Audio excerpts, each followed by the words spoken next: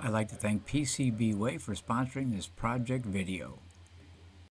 All right, guys, so welcome back. I'm going to take a little break from the toroidal vortex motor. I decided that two of the guys gave me ideas. One guy said toroidal motor, the other guy said vortex. So it's called the TV or just vortex motor. I don't know. But anyway, this video is sponsored by PCBWay. They're sponsoring another project for me. As you guys know, I've built many rotors using PCBWay services. This is the one that was done with SLS nylon. This is incredible.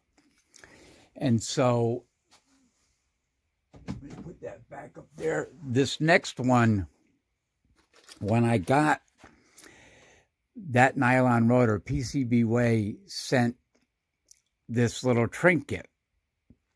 And I was really curious about it because I didn't know if it was something that was, you know, made off campus, so to speak, and it's just done for trinkets. And so I asked them, I contacted my uh, marketing person over there when they said no this was actually made in house and it's it's a SLA with a special post processing um, I forget what it was called. I think it was called um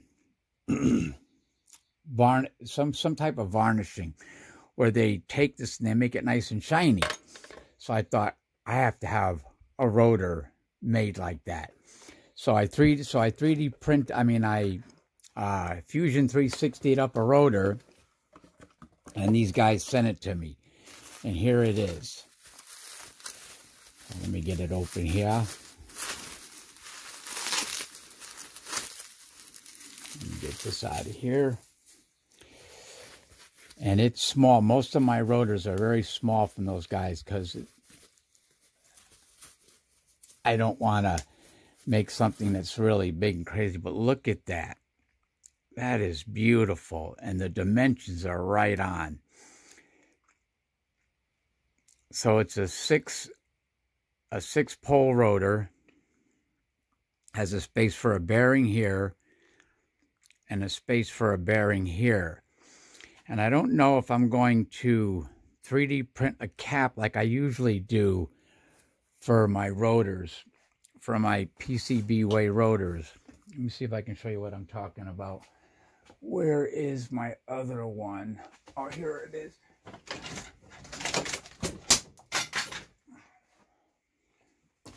Like this one here. This was the first one I ever did with them. This is made out of aluminum.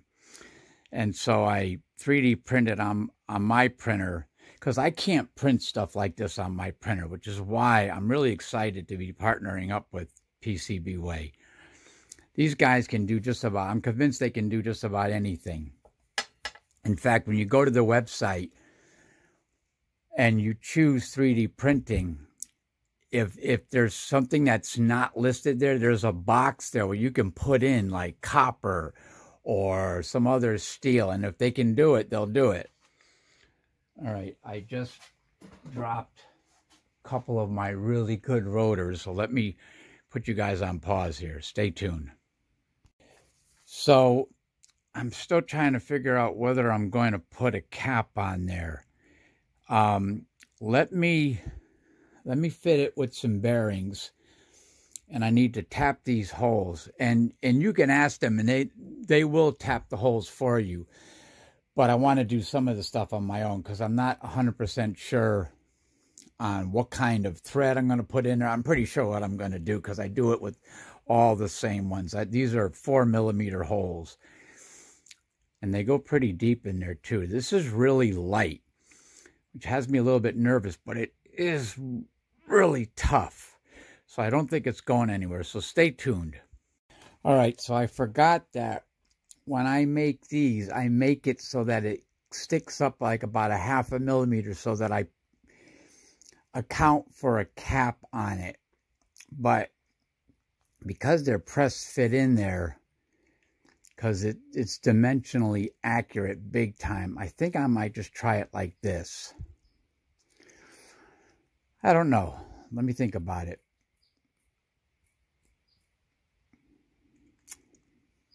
Yeah, I got to get my stand up here because I'm modifying my stand so that I can, well, I'll show you guys. Stay tuned.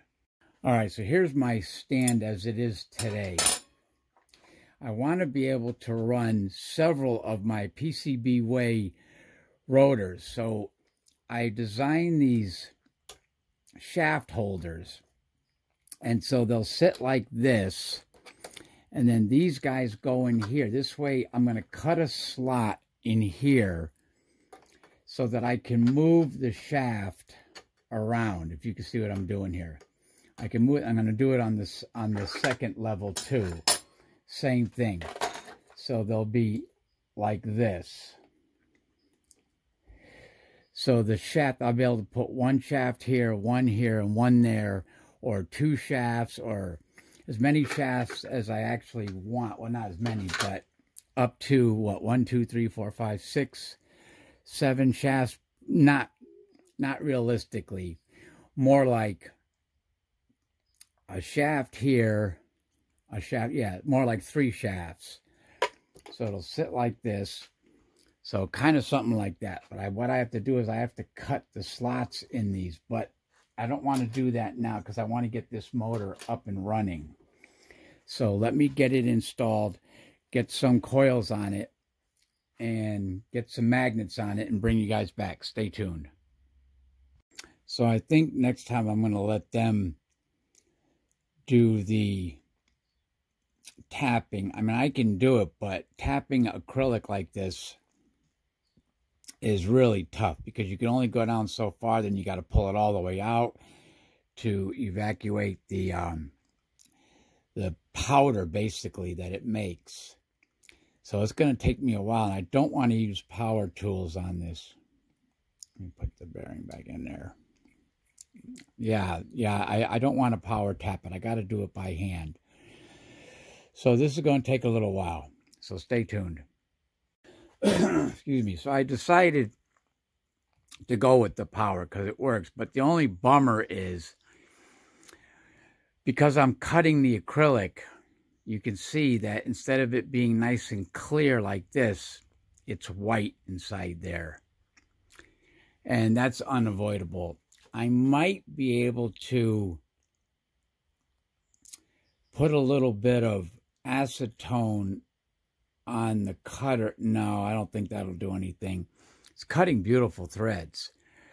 But unfortunately, it's turning the arms what the inside of it white. And I don't know of a way to bring that back to its pristine clearness. Anyway, stay tuned.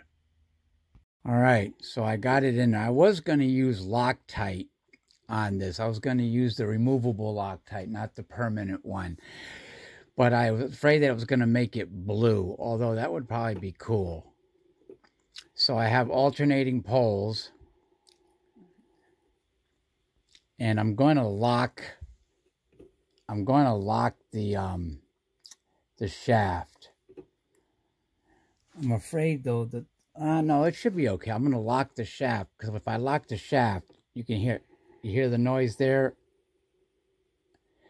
So let me figure out how I'm going to do that. Or maybe I'll just all right, so I got to get the uh, coils set up figure out what circuit I'm going to use. Put these bad boys in there. These are my self-aligning, self-fitting, or self-mounting coil mounts. Don't know if you can see them. There they are.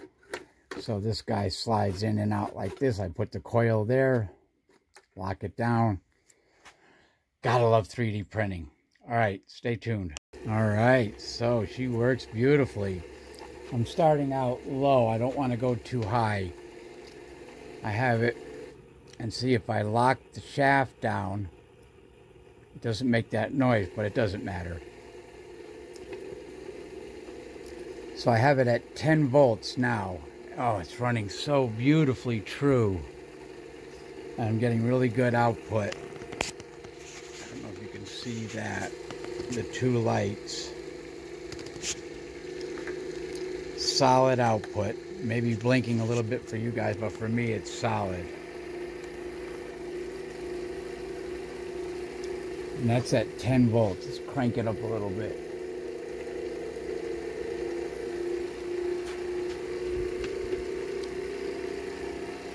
That's 13 volts. Or actually, let me drop it back down. All right, 12.4 volts.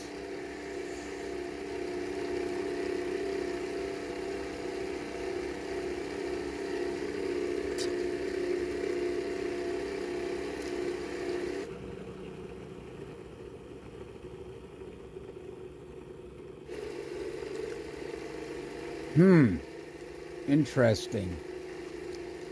It slows down when I hold the shaft so the bearings. Huh. I wonder why that is. Because it's using all four bearings now. Anyway, it's working great.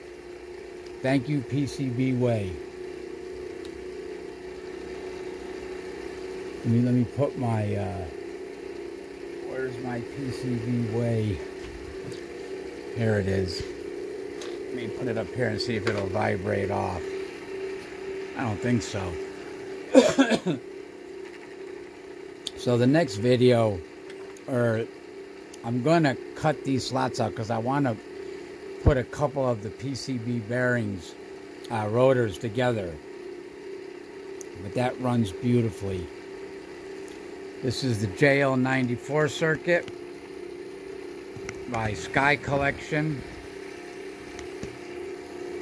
These are my coils that I wound by hand. And they're great for testing. They work beautifully.